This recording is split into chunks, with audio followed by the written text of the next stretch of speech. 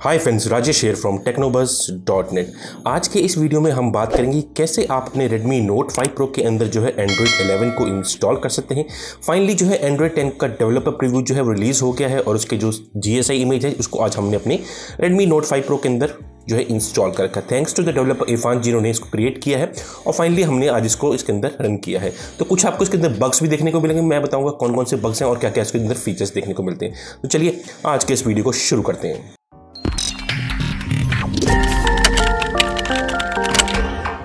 तो जैसा कि देख पा रहे हैं, ये है Redmi Note 5 Pro और आज इसके अंदर हमने इंस्टॉल रखा है एंड्रॉइड वर्जन आर जिसे आप एंड्रॉइड वर्जन 11 भी बोल सकते हैं।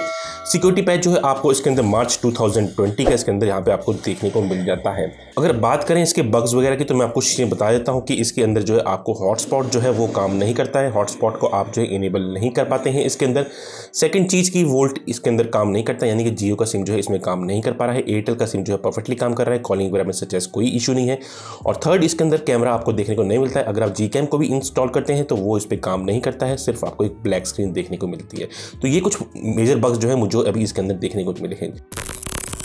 जो एंड्रॉइड 11 के जेस्टर जो है वो परफेक्टली इसके अंदर काम कर रहे हैं, उसके अंदर कोई भी सच इशू नहीं है इसके अंदर। अगर आप किसी मेनू के ऊपर जाते हैं, किसी फ़ोन की इन्फो के ऊपर सपोज़ कीजिए, हम इस पर जाते हैं और वहाँ पे आपको काफ़ी सारे ऑप्शन मिलते हैं, जैसे app info split screen free form या पॉज ऐप फ्री फॉर्म पर आप टैप करते हैं, कुछ इस तरीके की विंडो आपके सामने खुल जाती है, जिसको आप यहाँ से ईजिली एक्सेस कर सकते हैं। स्प्लिट का आपको पता ही होगा स्प्लिट जो है किस तरीके से काम करती है। तो ये इसके अंदर एक नया फीचर आपको देखने को इसके अंदर मिलता है। आपको इसके अंदर चैट बबल्स मिलते हैं, नई स्क्रीन रिकॉर्डिंग मिलती है नोटिफिकेशन कन्वर्सेशन मिलती है। सेंड इमेज फ्रॉम नोटिफिकेशन के ऑप्शन मिल जाते हैं और भी काफ़ी सारे नए फीचर्स आपको इसके अंदर देखने को मिल जाते हैं। अगर बात करें कुछ और चीज़ों के बारे में तो देख पा रहे होंगे, इसके अंदर डार्क मोड जो है परफेक्टली काम कर रहा है वाईफाई ब्लूटूथ जो है परफेक्टली काम कर रहा है और साथ ही साथ मोबाइल डाटा काम कर रहा है बट वोल्टी इसमें काम नहीं कर रहा है इसके अंदर। स्क्रीन रिकॉर्ड स्क्रीन कास्ट ये सारी चीज़ें काम कर रही है बट हॉटस्पॉट जो है इस टाइम पर काम नहीं कर रहा है।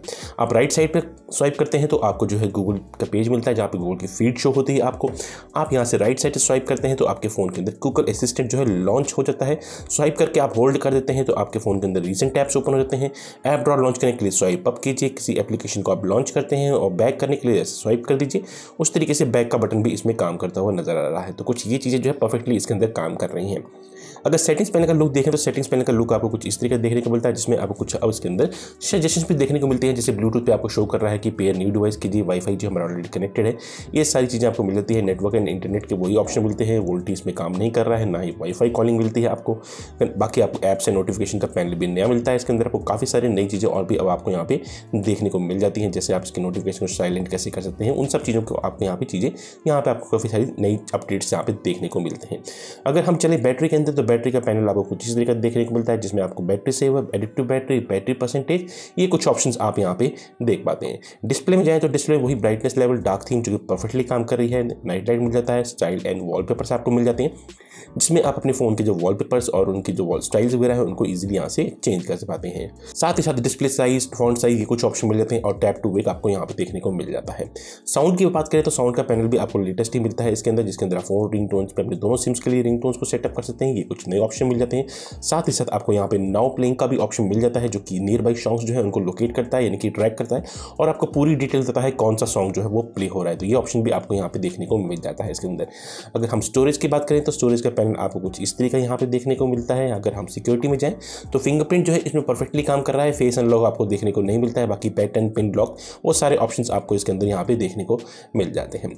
डिजिटल वेलबिंग भी आपको इसके अंदर लेटेस्ट मिल जाता है। जैसे कि आप तक पर डिजिटल वेलबिंग जो है परफेक्टली काम कर रहा है, जो आपकी स्क्रीन टाइम नोटिफिकेशन कितने रिसीव हुए, आपको कितनी बार टाइम फ़ोन को लॉक एंड अनलॉक किया, वो सारे कुछ ऑप्शंस आप यहाँ पे मिल जाते हैं। सिस्टम में जाते हैं तो सिस्टम में वही लैंग्वेज इनपुट जेस्टर्स को आप चेंज करते हैं, किस तरीके के जेस्टर्स चाहिए gesture navigation two button navigation या थ्री बटन नेविगेशन ये कुछ ऑप्शन मिल जाते हैं। इस टाइम पे आपको छोटे मोटे बग्स ज़रूर मिल जाते हैं, जैसे कि मैंने बताया कैमरा काम नहीं कर रहा है हॉटस्पॉट काम नहीं कर रहा है वोल्ट भी काम नहीं कर रहा है। ये फ़र्स्ट डेवलपर प्रीव्यू है तो छोटे मोटे बग्स आपको उसको मिल जाते हैं। अगर आप उसको डेली ड्राइवर यूज़ करना चाहते हैं तो मैं रिकमेंड नहीं करूँगा कि आप इसको डेली ड्राइवर यूज़ करें। हाँ आपको टेस्ट करना है कि एंड्रॉइड इलेवन कैसा फील देता है आपके फ़ोन पर देन आपको इसको इंस्टॉल करने के लिए मैं आपको बताऊँगा क्या मेथड यूज़ करना है। तो मेथड को ढंग से देखिएगा और वीडियो को पूरा अच्छी तरह देखिएगा तो ये सारी चीज़ें तो आपको सेटिंग्स में देखने को मिल जाती हैं इसके अंदर। बाकी आपको ऐप ड्रॉर के अंदर वही चीज़ें मिल जाती हैं, जैसे कैलकुलेटर कैलेंडर क्रोम टैब हो गया क्लॉक हो गया आपका। वो सारी की सारी चीज़ें इसमें आपको यहाँ पे देखने को मिल जाती हैं आपको। तो अब मैं बताऊँगा कि आपने इसको Redmi Note 5 Pro के अंदर इंस्टॉल कैसे करना है। तो Redmi Note 5 Pro के अंदर इंस्टॉल करने के लिए आपको कुछ फाइलें चाहिए। मैं बताता हूँ कौन कौन सी फाइलें हैं और आपको उनका लिंक डिस्क्रिप्शन में मिल जाएगा। सबसे पहले तो चाहिए आपको अपने फ़ोन के लिए एक लेटेस्ट जो इसकी इमेज फ़ाइल है पिक्सल ए बी इसकी एक जिप फ़ाइल है, इसको आपने अनजिप कर लेना है, उसके अंदर आपको ये फ़ाइल मिलेगी जो कि 2.75 पॉइंट की है। उसके बाद चाहिए आपको ए आई से पी क्यू का वेंडर फ़ाइल जिप फ़ाइल और उसके बाद चाहिए आपको परमिशन की एक जिप फ़ाइल और एक गूगल प्ले स्टोर की ए पी के फ़ाइल क्योंकि गूगल प्ले स्टोर काम नहीं करता है तो आपको उसको इंस्टॉल करना पड़ेगा। तो ये चार फाइलें चाहिए। तो उसके बाद सिंपली आपने क्या करना है, अपने फ़ोन को स्विच ऑफ़ कर देना है। तो हम फ़ोन को स्विच ऑफ़ कर देते हैं। अब हम फ़ोन को कस्टम रिकवरी में बूट करेंगे। आप T W R P orange fox या custom recovery pitch black recovery होती है, उसको भी यूज़ कर सकते हैं। तो कस्टम रिकवरी बूट करने के लिए वॉल्यूम अप और पावर के बटन को होल्ड रखेंगे, ताकि हमारा फ़ोन जो है कस्टम रिकवरी में बूट कर सके। तो ये देखिए, अब हमारा फ़ोन जो है ऑरेंज फॉक्स की रिकवरी के ऊपर बूट कर चुका है। तो आप वाइप पे जाएँगे Dalvik cache cache data system vendor इन सबको आपने वाइप कर देना है। जैसे ही आपके सारे पार्टीशन वाइप हो जाते हैं, सबसे पहले आपने जो है इसकी जो इमेज फ़ाइल है सिस्टम इमेज उसको फ्लैश करना है। तो वो आपको यहाँ पर शो नहीं करेगी जब तक आप यहाँ पर इसको इमेज फाइल्स को सिलेक्ट नहीं करते हैं। जैसे आप इमेज फ़ाइल को सिलेक्ट करेंगे, आपको पिक्सल ए की जो इमेज फ़ाइल है, वो दिखेगी इसको सिस्टम के साथ सिलेक्ट कीजिए और इसको फ्लैश कर लीजिए। ये नीर बार कुछ टाइम लेता है वन मिनट के आसपास इसको फ्लैश का। इसके बाद आपने जो ए की वेंडर जिप फ़ाइल है, उसको फ्लैश करना है। उसके बाद जो परमिसोवर की जिप फ़ाइल है, उसको फ्लैश करना है। जब आपका फ़ोन बूट हो जाएगा, उसके बाद जो आपने गूगल प्ले स्टोर की जो ए की फ़ाइल है, उसको इंस्टॉल करना है ताकि आप गूगल प्ले स्टोर को इस रोम के ऊपर यूज़ कर सके। मैं आपको फिर से बता रहा हूँ, ये फ़र्स्ट डेवलपर प्रीव्यू है। इसमें आपको छोटे मोटे बग्स देखने को मिल सकते हैं। बस अगर आप इलेवन कुछ टेस्ट करना चाहते हैं अपने नोट फाइव प्रो के ऊपर देन आप इसको यूज़ कर सकते हैं। वोल्टी काम नहीं कर रहा है कैमरा काम नहीं कर रहा है हॉटस्पॉट काम नहीं कर रहा है, और कुछ और बग्स भी आपको इसके अंदर देखने को मिल सकते हैं। तो ये देखिए सिस्टम इमेज हमारी फ्लैश हो गई है। अब सिंपली वापस हम जिप फाइल्स के ऊपर जाएँगे, यानी ऑल फाइल्स के ऊपर। अब यहाँ से जाके हमने जो है अपनी, जो अपनी वेंडर फ़ाइल थी AICP उसको सिलेक्ट करेंगे, और उसको भी एक बार फ्लैश कर लेंगे। ये भी थोड़ा सा टाइम लेगा, थोड़ा सा हम वेट कर लेते हैं, ताकि ये भी कंप्लीटली हमारे फ़ोन के अंदर फ्लैश हो सके। तो ये देखिए, ये वाली जिप फ़ाइल भी फ्लैश हो गई है। लास्ट हमारी जो परमिशन वर्जन फाइव थी, उसको सेलेक्ट करेंगे और उसको भी फ्लैश कर लेंगे। विद इन सेकेंड्स आपके फ़ोन के अंदर इंस्टॉल हो जाती है। उसके बाद रिबूट सिस्टम करेंगे, अपने फ़ोन को सेटअप करेंगे और गूगल प्ले स्टोर की ए फ़ाइल को अपने इंस्टॉल कर लेंगे।